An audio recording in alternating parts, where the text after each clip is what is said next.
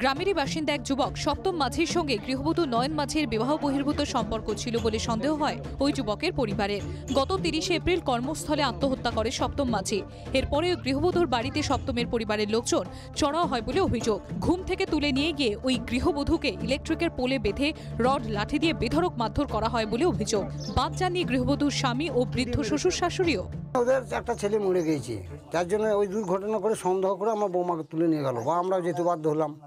ভোর তিনটে বাজে তখন তোর আমাদের বিছানা থেকে উঠিয়ে নিয়ে চলে গেল। পোলে বেঁধে যা খুশি করে বৌমাকে মারলে আমাদের গেলাম আমাদের দুর্দান্ত মারছে গড়ে গরুকে এরকম মারে না। কি দিয়ে মারছিল? ঠেঙা লাঠি জুতো ঘুষি ঘুষি যা খুশি দিয়ে। অভিযোগ অস্বীকার করে পাল্টা মারধরের অভিযোগে সরব হয়েছেন মৃতের দাদা। এমনি ডেকে আনা হয়েছিল সকালবেলায় ঠিক আছে। ও গিয়েছিল কাকারা বলছে সপ্তমকে কি বলেছিস? ওকে ডেকে আনা হয়েছিল। এই হিসেবে শ্বশুর শাশুড়ি কেউ মারধর করেনি, ঠিক আছে? নয়ন পালিয়ে যাচ্ছিল, বলছে আমাকে ছেড়ে দে, আমি মরে যাব, ঠিক আছে? ওই জন্য ওকে ধরে রেখে দিয়েছিলো মেয়েরা, ঠিক আছে? আর ও শ্বশুর মশাই এসে আমার মাথায় আঘাত করে, ঠিক আছে?